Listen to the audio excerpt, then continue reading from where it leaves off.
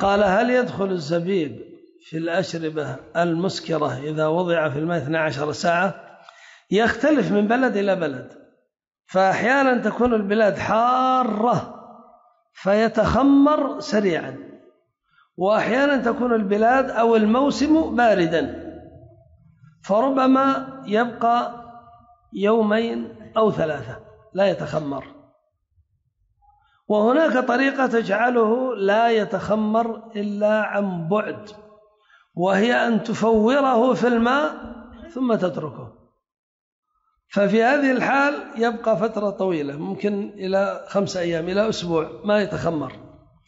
أيضا بعدما يتنقع ويصبح جي جيدا يوضع في الثلاجة أيضا ما يتخمر عن قرب.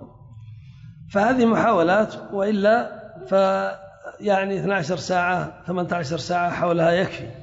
وهذا نقيع الزبيب الذي ليس عنده سكر هذا نافع جدا وقوي جدا في تقوية الذاكرة تقوية المناعة وفي عافية الأبدان.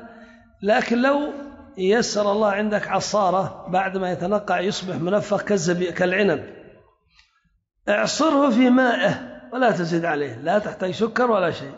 هو منقع في ماء.